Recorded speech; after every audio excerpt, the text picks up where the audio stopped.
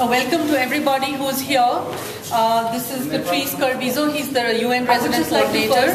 Thank back because uh, the Maya Academy of uh, uh, Animation Cinematics because they really uh, have done a fantastic job. Patrice, as you can see, uh, these are some. This is just a selection of some of the uh, work that was done.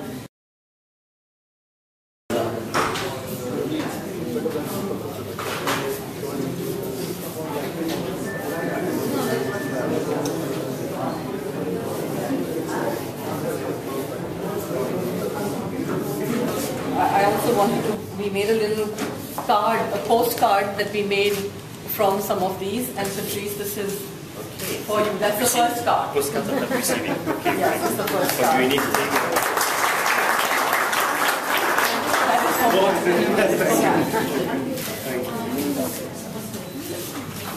for will be listening to you. Okay. So thank you. Uh, thank you for coming here.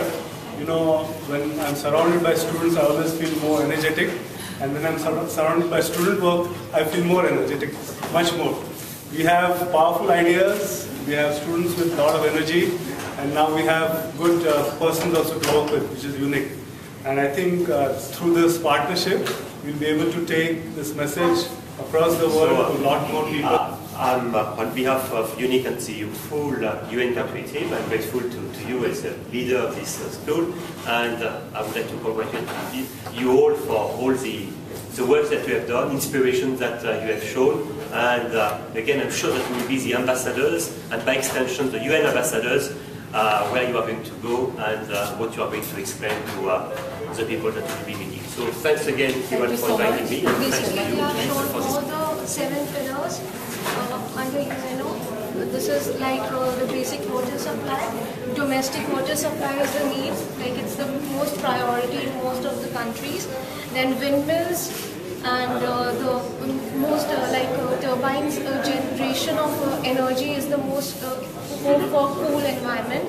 And uh, trees are the basic source due to which everything is uh, like it's a base uh, and uh, this is for uh, vegetation, agriculture, then uh, jobs and uh, a lively environment. Coral leaves are uh, like used for cancer patients, pure, very pure and very refined uh, an element.